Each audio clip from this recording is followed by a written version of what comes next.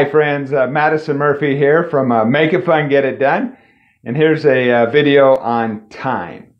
And so this video is uh, about uh, time and managing time and you know time is is very very useful. It's something that does have some healing properties. Now when I talk about healing properties, uh, I'm not diagnosing or prescribing and any of these statements or are not um, have not been evaluated by the Food and Drug Administration or are not meant to diagnose, prescribe, or um, cure any illness or disease. There is a disclaimer out of the way.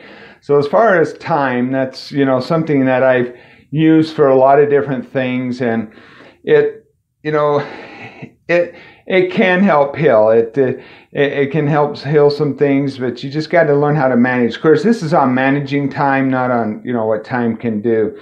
And so, you know, one one of the things that uh, you, you got to make sure when you're managing time is that when you get it on the skin, that it doesn't burn anything because it can be concentrated, especially when it's in, in the oil form, and it, it can really burn the skin if it, it's not managed well. Now you can uh, dilute it uh, with carrier oils such as uh, coconut oil or other uh, vegetable oils or um, almond oil. Or there's there's different kinds of oils that, that can can be done. Of course, time I can take straight sometimes and neat, uh, or it's called neat on the skin.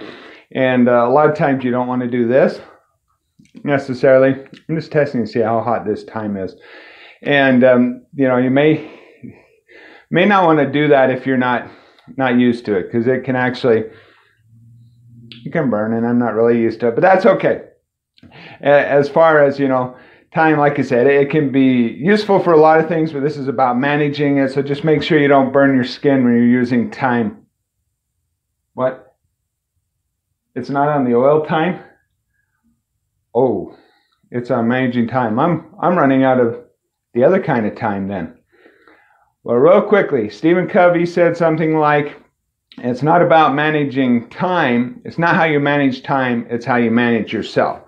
Now, one thing that I use to manage the other kind of time is these four areas that Stephen Covey talks about.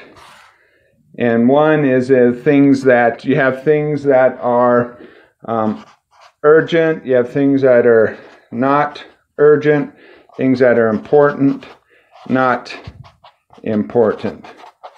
So make sure a lot of times people will do the things that are that are not are not important that are urgent and not important. They'll do these things, but you should do these things. So do these things.